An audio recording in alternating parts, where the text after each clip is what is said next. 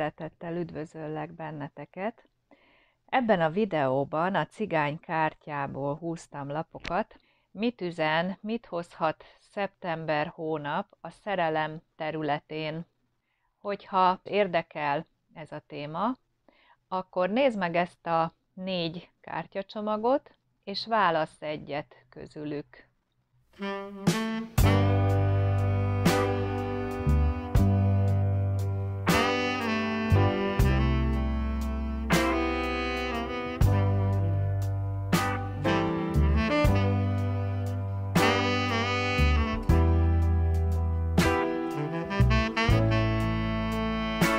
Ha sikerült választani, akkor megnézzük az egyes kártyacsomagot.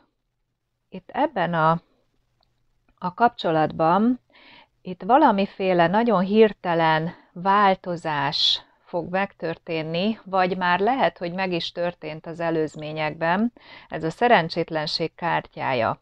Ez a kártya, ez lehet, hogy első körben azt élted meg, vagy azt fogod megélni, hogy nagyon rossz történt, hogy nagyon hirtelen ez a változás, és nagyon rosszat tud hozni, de itt a többi kártya azt mutatja, hogy aztán ez valamiféleképpen, ahogy jött ez a hirtelen rossz dolog, úgy el is tud múlni, úgy tud rendeződni.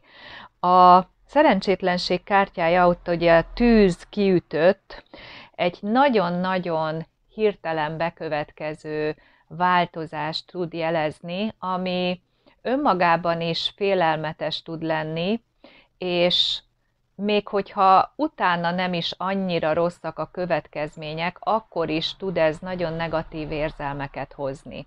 Ha már volt valamiféle hirtelen változás az előzményekben, akkor érezheted azt, hogy, hogy ezt nagyon nehezen tudod elviselni, hogy félsz a további következményektől, hogy lelkileg nagyon megterhelt ez a dolog, de itt mellette már a jó hír, illetve a szerencse kártyája is azt jelzi, hogy, hogy olyan módon tud megoldódni, amire esetlegesen még nem is számítottál eddig. Ugye itt a kártyának a, a neve is mutatja, hogy nagyon pozitív változásokra lehet számítani, és ezt még megerősíti a szerencselapja.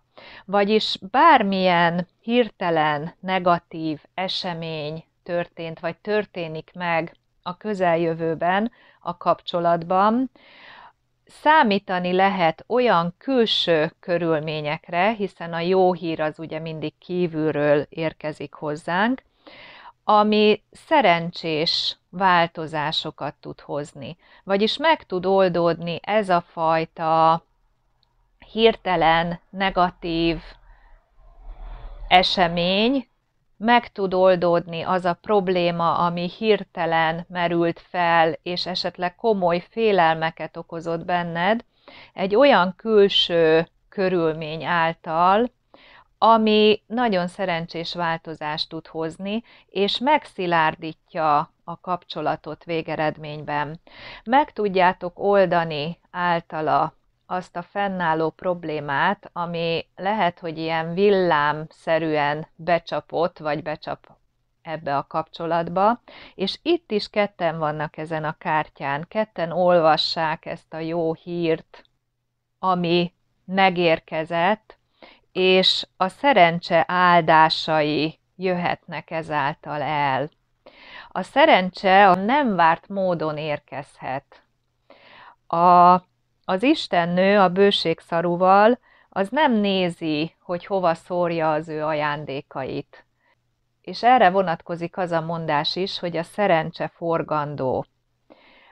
Ha nem vesszük észre azokat az áldásokat, amiket megkapnánk, hogyha nyitottak lennénk rá, akkor bizony tovább mehet Fortuna Isten asszonya, és akkor nem is leszünk szerencsések. Akkor igazunk lesz abban, hogyha ezt állítjuk magunkról, hát legyen meg a te akaratod, akkor tényleg nem leszel szerencsés.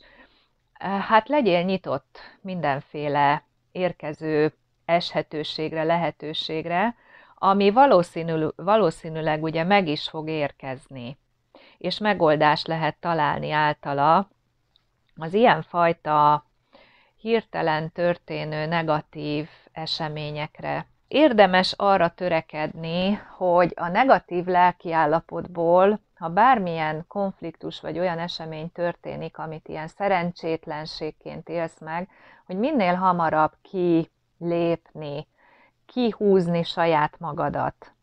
Lehet, hogy nem rögtön tudsz túllépni egy-egy ilyen eseményen, főleg, hogyha párkapcsolatban ugye ott azért érzelmileg mindig nagyon erősen érintve lehetünk, ha nem is azonnal tudsz kilépni belőle, de ha törekszel rá, hogy, hogy csak egy fokkal jobban érezd magad, akkor az már elindítja a változást. És bízni kell abban, hogy a külső körülmények is úgy tudnak rendeződni, és olyan információkat is meg tudsz kapni utána, ami még egyelőre még lehet, hogy ugye rejtve van, hiszen a jó hír az, mikor érkezik, akkor még előtte nem tudjuk, hogy hogy az meg fog érkezni hozzánk. Bíz abban, hogy pozitívan fognak változni az események, hogy pozitívan meg tudod oldani ezeket a dolgokat, és itt együtt oldják meg, és akkor meg is fog érkezni hozzád, akkor biztosan jól tud alakulni ez az aktuális konfliktus helyzet, vagy, vagy olyan esemény, ami ezt okozta, ezt a negatív állapotot. A házasság és a hűség kártyája viszont már azt jelzi, hogy, hogy ez még szinte stabilizálni is tudja a kapcsolatot.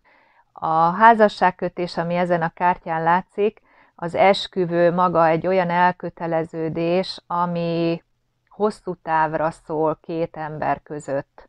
És a hűség lapja pedig meg is erősíti, hogy ezáltal, hogy meg tudjátok oldani ezt a, a konfliktus helyzetet, amit itt első lapként a szerencsétlenség kártyája mutat, hogy akkor ez még jót is tud tenni olyan szempontból a kapcsolatnak, hogy stabilizálja, hogy ez a fajta elköteleződés és hűség és szeretet, ami jelen van ebben a kapcsolatban, az meg tud szilárdulni azáltal, hogy érkezik a megoldás arra a problémára, amit negatívan élsz meg, amit esetleg félelemmel telien élsz meg, amit abban a pillanatban még lehet, hogy nem is tudod a megoldását. Még az is a tanácsa, hogy figyelj önmagadra, figyelj befelé,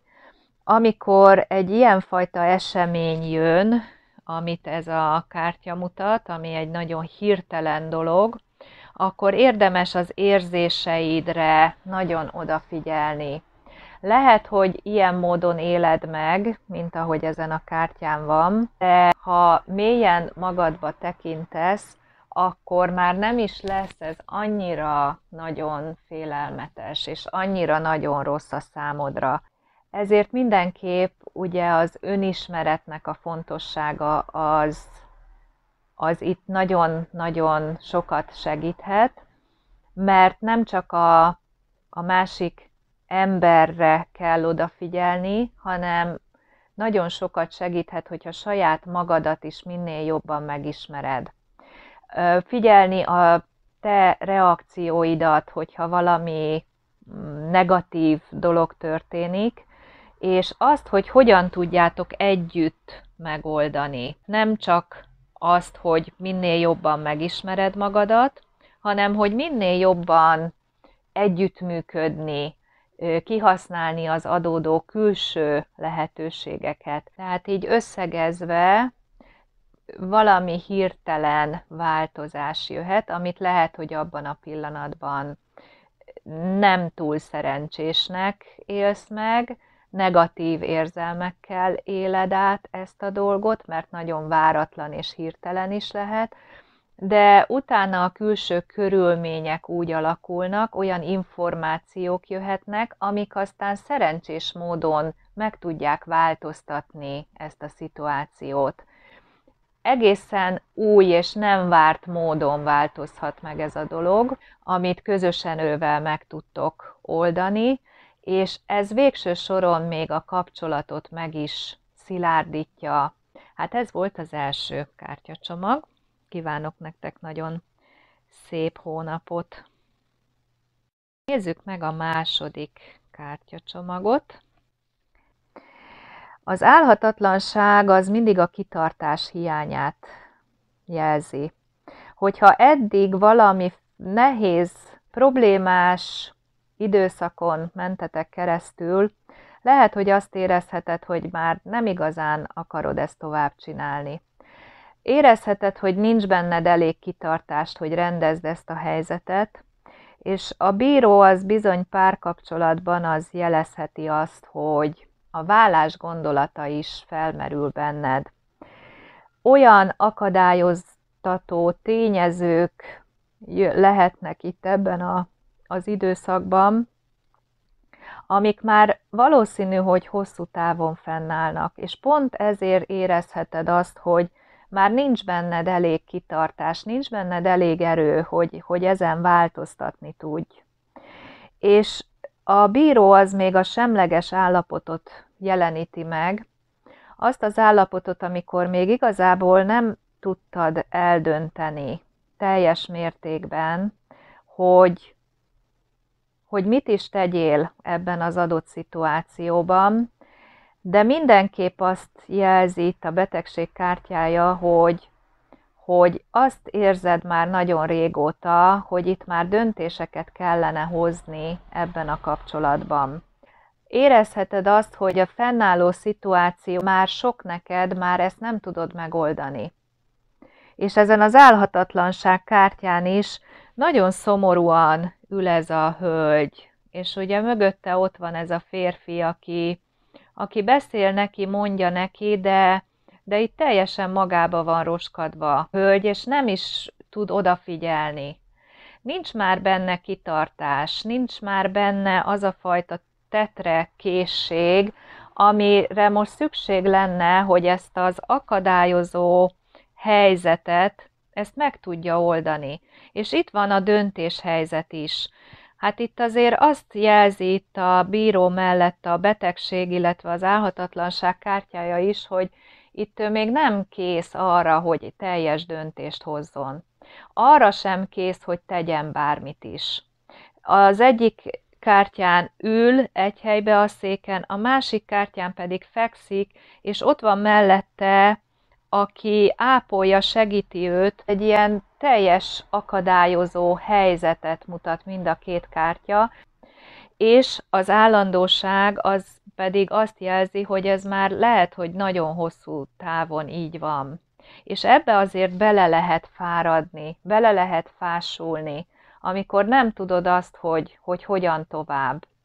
A betegség lapja az viszont utal arra is, hogy, hogy ott van a gyógyulás, hiszen ott vannak a ott van mellette a segítség, aki tud neki segíteni abban, hogy fölépüljön, és a betegségnél azért sokszor ugye azt mondjuk, hogy csak ki kell feküdni, vagyis át kell gondolni, át kell értékelni a dolgokat, és meg kell látni azt a segítséget, ami ott van, csak ez a szomorúság miatt, amit itt az első kártyán látunk, nem igazán tudod észrevenni.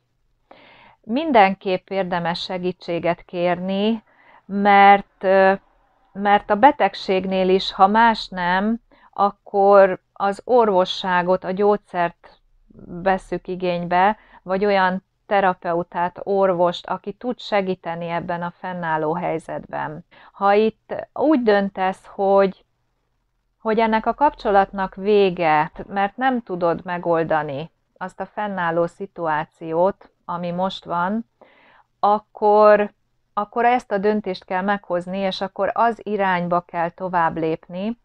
Ha viszont úgy döntesz, hogy, hogy adsz esélyt és összeszeded a minden erődet, meggyógyulsz, és fel tudsz állni ebből az állapotból, akkor viszont az irányba érdemes elindulni, megkeresni azt a segítséget, ami ebben tud segíteni téged. Az állandóság kártyája, ez a kártya, ez, ez az Isten szemét ábrázolja, az égi segítséget is jelezheti, tehát ha megtalálod a segítséget, és akár az égi segítséget is jelzi ez a lap, akkor azt jelenti, hogy tudsz olyan döntést hozni, és ugye az első lépés a döntés, és utána már tudsz gyógyulni, a gyógyulás irányába menni, azt a helyzetet meggyógyítani, ami miatt most így állnak az események, ami miatt azt érzed, hogy teljesen akadályoztatva vagy. A gondolat kártyája, az utolsó lap, ami sokat segíthet, az az, hogy mindent átgondolsz. Hogy leülsz és számvetést végzel. Itt előtte toll meg jegyzet van, ez a férfi előtt, és azt figyeli, illetve fogja a fejét, tehát ott vannak a gondolatai is, a koncentráció is. Gondold végig egyedül. Le is írhatod, hogy mi szól mellette, és mi szól ellene. Hogy mi szól az mellett, hogy együtt tovább, és akkor mindenképp meg kell oldani azt a helyzetet, ami fennáll. Vagy pedig azt a döntést hozod meg, hogy hogy szakítani, válni, és ehhez az, az átgondoltság az nagyon fontos. Nem érdemes most másnak a tanácsát kikérni, nem érdemes most azt nézni, hogy más mit csinálna a helyedben, vagy mit szólnak mások ahhoz, hogy te hogyan fogsz dönteni, mert itt a te életedről van szó. Ne akarj megfelelni senkinek, ha már olyan a helyzet régóta, amiben nem érzed jól magad, ami miatt már nincs kitartásod, de a szíved szerint még benne vagy, érzelmek kötnek még, ez a kártya, a gondolat kártyája azt mutatja, hogy most racionálisan, inkább a racionalitás oldaláról nézd meg ezt az egészet. Mert lehet, hogy az érzelmeid miatt vagy még benne mindig olyan helyzetben, ami már lehet, hogy beteggé tesz, már teljesen visszafog, és már nem tudod a saját utadat járni, már nem tudsz fejlődni, nincs öröm az életedben, leállás van, megrekedtség van. Jó technika arra, hogy az érzelmeiden kicsit kívül tudj kerülni, mert hát ugye benne vagyunk, érintve vagyunk, hogyha úgy nézel rá, mint hogyha egy másik számodra fontos embernek adnál tanácsot ebben a szituációban. Ha a legjobb barátnőd, vagy a gyermeked, vagy a, aki hozzád közel áll, olyan rokonot kérne tőled tanácsot, hogy ebben a helyzetben van, amiben most te, akkor neki mit mondanál? Mert ez így kicsit távol tudsz akkor lenni az érzésektől. Hát betartani már nehezebb, de, de itt ebben a kapcsolatban itt szükséges már, hogy megoldása legyen annak a régóta fennálló problémának, ami már csak visszatart, és itt a döntések nagyon lényegesek lehetnek. Ez volt a második kártyacsomag. Nektek is kívánok nagyon szép hónapot. Akkor nézzük tovább, és aki a harmadikat választotta. Hát ez az öt kártya sem jelez egy ilyen túlságosan könnyű hónapot.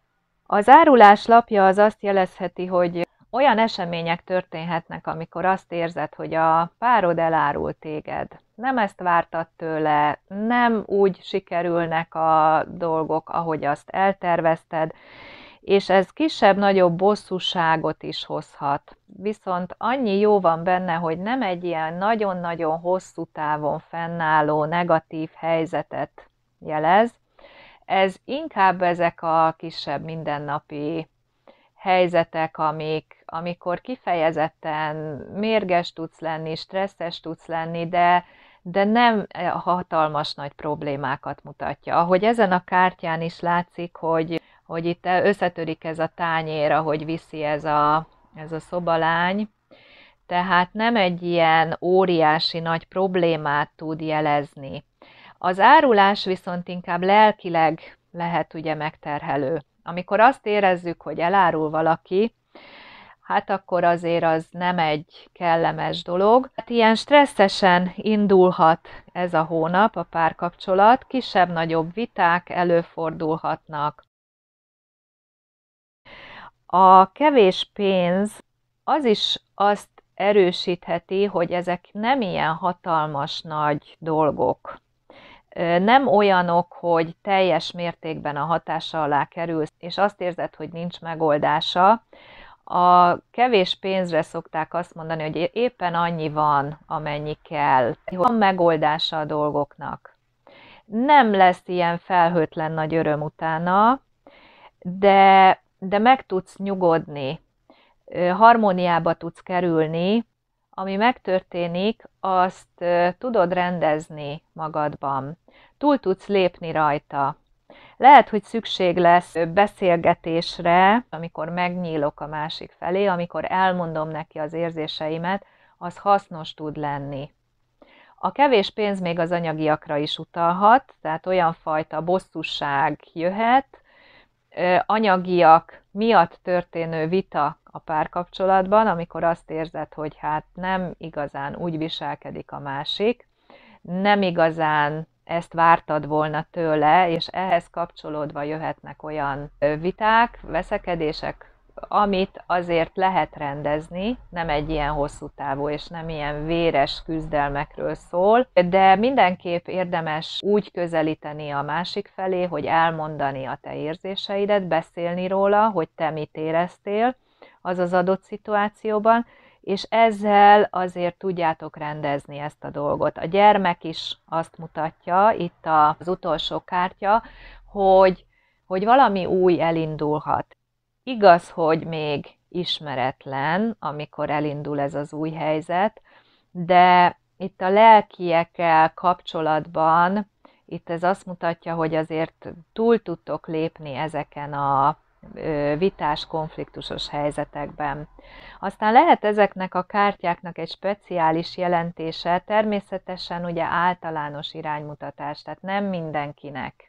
Akinél aktuális lehet, itt gyermek érkezéséről is szó lehet, várandóság híréről is szó lehet, ami hát okozhat stresszt, és ennek lehet anyagi vonatkozása is, de ez annyira speciális jelentése lehet itt a kártyának, de azért érdemes ezt is megemlíteni, ezt is hozhatja egyes kapcsolatokban. Tehát összességében, hogyha azt érzed, hogy, hogy a párod elárult, hogyha nem azt a viselkedést kapott tőle, amit te szerettél volna, ez okozhat kisebb-nagyobb vitákat, veszekedéseket, amit meg tudtok oldani végső soron, ha meg tudjátok beszélni. Pap viszont ugye azt mutatja, hogy ha meg tudom mutatni az érzéseimet, ha bizalommal tudok a másik felé fordulni,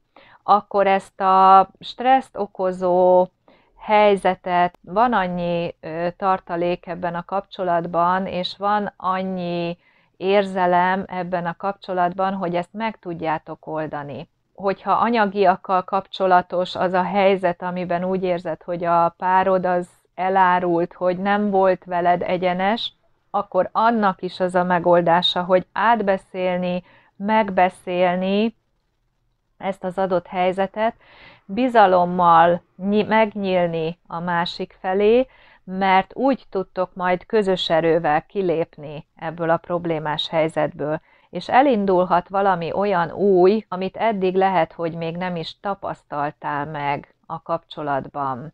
De azt is mutathatja így a végén ez a kártya, hogy, hogy könnyedebben tudsz hozzáállni, rugalmasabban tudsz hozzáállni a dolgokhoz, és úgy tudod megoldani, hogyha ha nem ragaszkodsz túlzottan ahhoz a véleményedhez, ami eddig volt. Nagyon sokszor úgy változik meg a úgy változik meg a helyzet, úgy változnak a körülmények, hogy az addigi meggyőződéseket érdemes letenni, vagy olyanra cserélni őket, ami már az új helyzethez alkalmazkodik. Hát érdemes neked is megnézni, hogy eddig mit gondoltál arról az adott helyzetről, ami fennállt köztetek, és hogy mi gátol abban, hogy a problémák vannak, hogy azt meg tudjátok oldani.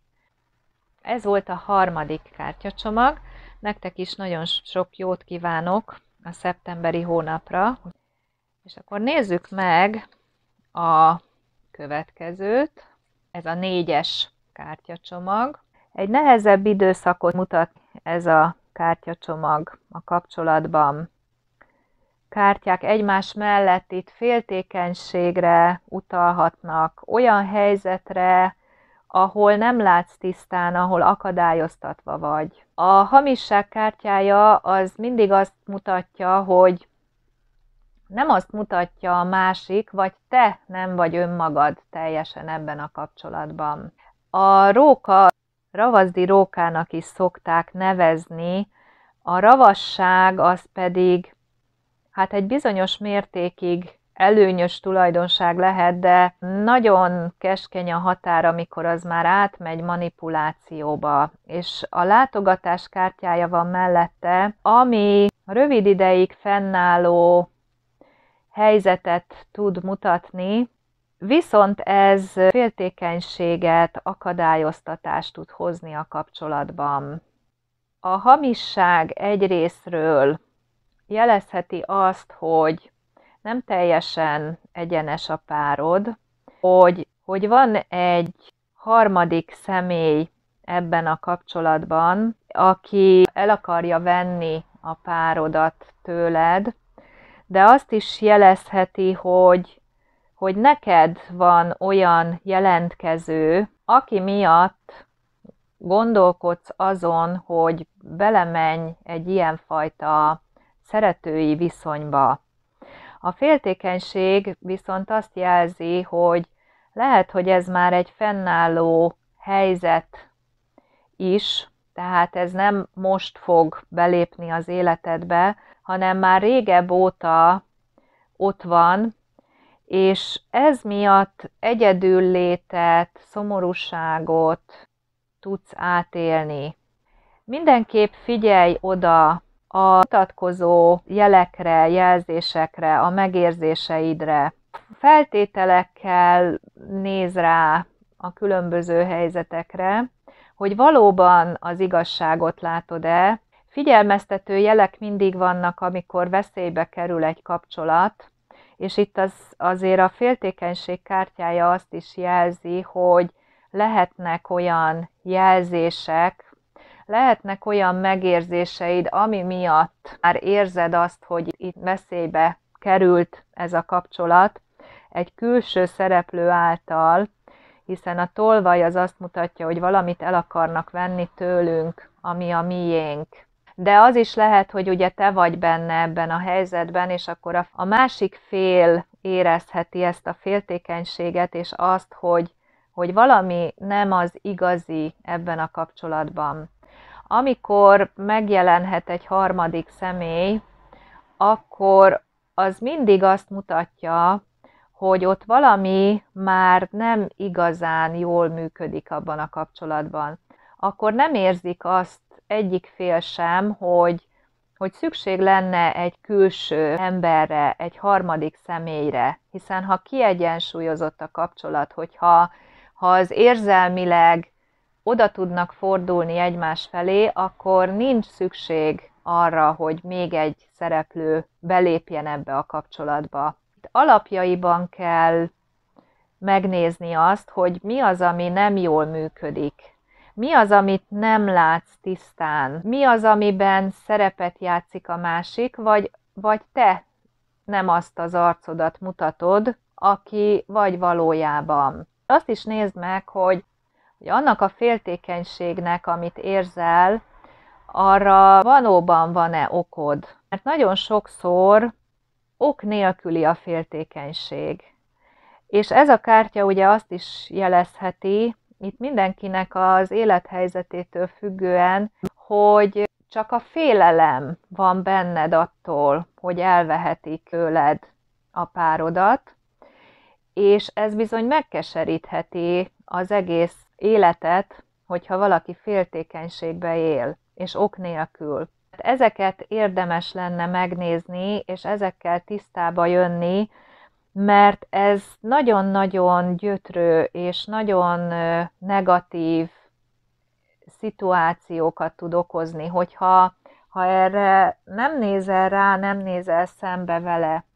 És ez arra is vonatkozik, hogyha érzed azt, hogy, hogy fennáll ennek a veszélye, vagy már lehet, hogy tudod is, hogy, hogy a másiknak van valakije, de ettől függetlenül benne maradsz a helyzetben, és nem nézel szembe ezzel a szituációval, és ott van benned a féltékenység, de nem változtatsz, akkor nagyon hosszú távon benne tudsz ragadni ilyen negatív élethelyzetekbe, mert a gyász ez egy nehéz folyamat, de végig kell menni rajta, és el kell jutni odáig, hogy, hogy kilépni belőle, és úgy tudod csak az egészséges lelki világodat megőrizni. Ha nálad merült föl az, hogy valaki megjelent az életedben, akkor azt is meg kell nézned, hogy mitől érzed magad úgy, hogy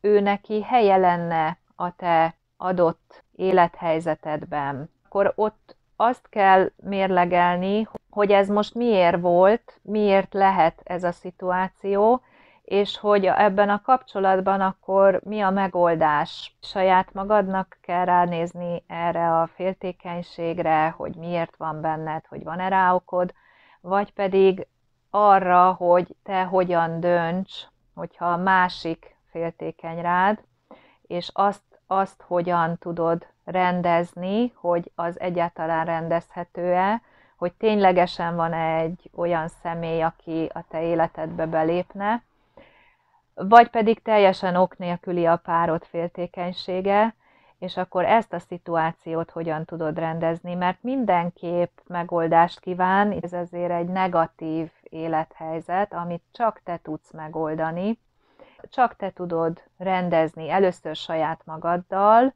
saját magadban, azután pedig a pároddal is. Hát kívánom nektek is, hogy sikerüljön ezt a szituációt lerendezni a lehető legjobban, és szép hónapot nektek is!